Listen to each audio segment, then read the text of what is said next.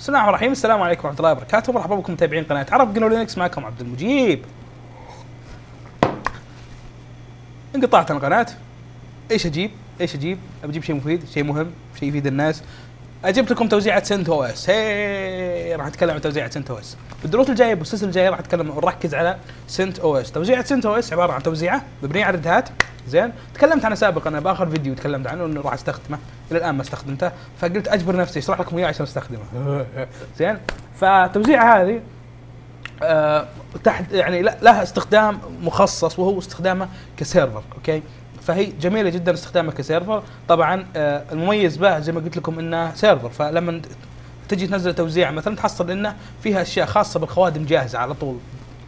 تعطيك إياها كذا شيل شيل يا مدير شيل واحد عبه. زين؟ فهذه المميز بالتوزيعه التوزيعه زي ما قلت لكم الم- المميز به آه، غير هذا إنه مبني على Red Hat أصلا.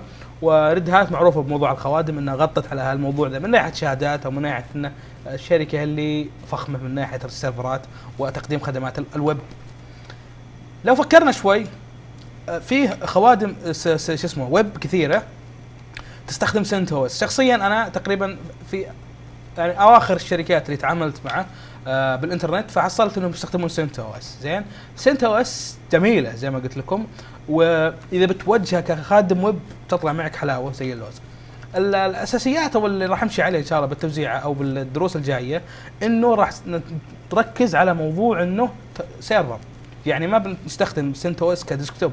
ممكن تستخدمه ك desktop على راحتك ممكن عادي جدا صنيفي واجهة رسومية وإلى آخره. راح يكون في خلطة بين سطر الأوامر والواجهه الرسومية. يعني ما بيكون سطر الاوامر كله عشان ما نمل.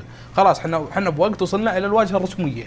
زين؟ ولكن لأنه سطر الأوامر مهم للتعامل مع التوزيع عن بعد عن طريق السكيور شيل فشيء جميل جدا إنك تفهم سطر الأوامر. لكن زي ما قلت لكم بيكون فيه خلط ما بين هذا وهذا. يعني آه ننوع شوي ندخل مرة على الواجهه الرسومية ومرة نشوف درس عن طريق سطر الأوامر. لو تابعت معي شو اسمه السلسلة هذه الجاية إن شاء الله بيكون عندك معلومات كافية جدا تدخلك اختبار شو اسمه Red Hat اللي اسمه RHCE ممكن ما أغطي جميع ال- النقاط الخاصة بال RHCE ولكن ممكن تقترح لي حاجة معينة. أنت كمشاهد تقول الشغلة الفلانية مهمة بالاختبار هذا يعني ممكن تمر عليه وأشوف إيش قصته وأحطها. لكن في حاجات معينة بالخطاب بتكلم عنها بالاختبار. زي مثلا الاختبار بيتكلم عن آه، المصادر الحرة كلام نظري طويل عريض ما راح أتكلم عنه. راح أتكلم عن الأشياء العملية. الكلام النظري ممكن تقدر تاخذه لحالك وتدرسه على راحتك.